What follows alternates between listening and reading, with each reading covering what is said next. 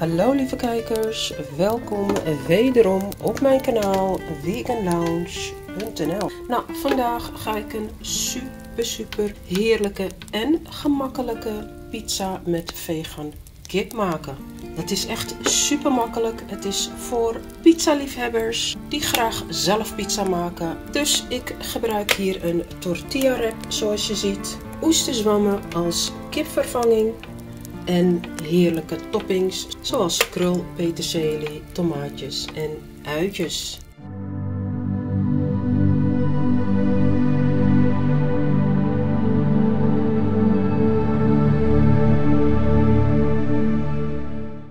je hebt ongeveer 100 gram oesterzwammen nodig. Ik heb deze van de Aldi, is veel goedkoper. Dit gebruik ik als kipvervanger. Ik ga hem even schoonvegen. Niet spoelen, maar schoonvegen. Oesterzwammen zijn schoongemaakt.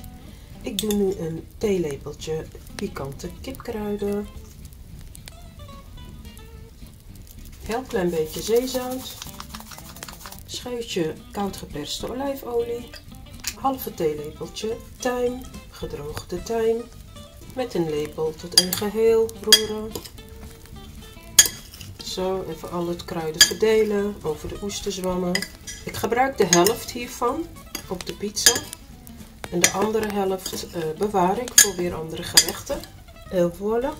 Klein bosje gekrulde peterselie. Je mag uiteraard ook uh, koriander gebruiken de platte selderij, wat jij lekker vindt.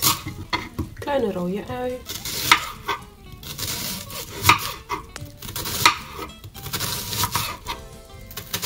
Tomaat.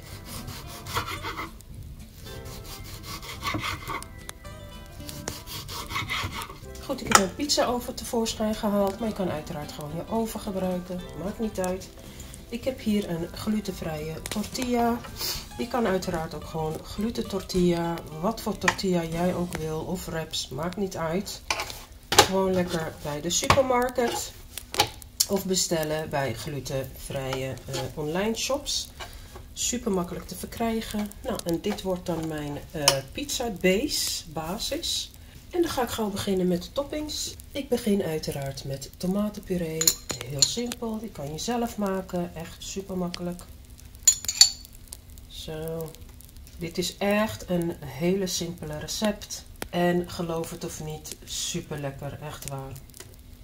Uiteraard mag jij zelf weten wat voor toppings je op je pizza doet. Goed, dan pak ik mijn oesterzwammen. Dit moet kipvervanging voorstellen. Nou, het zijn joekels, dus wat je doet, gewoon lekker in stukken uh, scheuren. Heel makkelijk. Kijk. Het lijkt op kip, maar is geen kip. Dit zijn gewoon oesterzwammen. Of je pakt de kleine stukjes ertussen. Kijk maar. Oesterzwammen zitten trouwens boordevol mineralen en vitamine en proteïne uiteraard. Dus super goed voor je. Goed, daarna doe ik de krul peterselie. Begint al op een pizza te lijken. En daarna de tomaten. Zo. en de uitjes. Goed, dan doe ik nog uh, citroenpeper erbij. Hoeft niet, mag. Het zijn citroen, uh, gedroogde citroen met uh, peper en andere kruidjes. Vind ik super lekker. Geeft een frisse smaak aan deze pizza. Je kan uiteraard ook vegan kaasstukjes opdoen. Ik ga edelgistvlokken erop doen. Voor een kaasachtige smaak uiteraard. Edelgistvlokken zijn super gezond, boordevol vitamine en mineralen. Vooral vitamine B1, B12. Nou, zoals jullie weten, ik hou van pittig, dus daar gaat nog cayennepeper erop. Een scheutje koud geperste olijfolie. Zwarte komijnzaad. En dan ga ik bakken.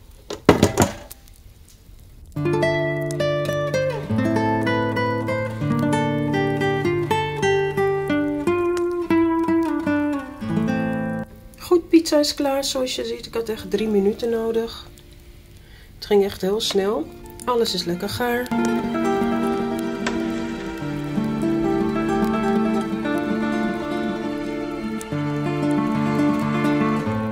Nou, ik ben super benieuwd hoe dit gaat smaken. Ik ga een beetje plantaardige mayo opdoen. Heerlijk. Mag, hoeft niet. Beetje jonge bladsla. Nou, dit is echt een super gezonde pizza. Heerlijk.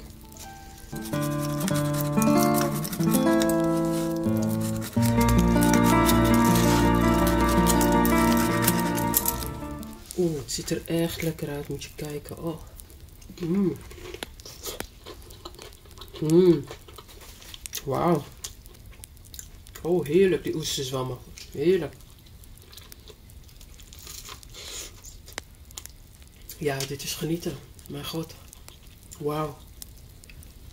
Heerlijk hoor. Goed, ik ga genieten van mijn pizza met vegan kip. En heerlijke groenten. Lekker pittig. En dan wens ik jullie een super super mooie dag. Een super mooi weekend. En tot de volgende video. Dag.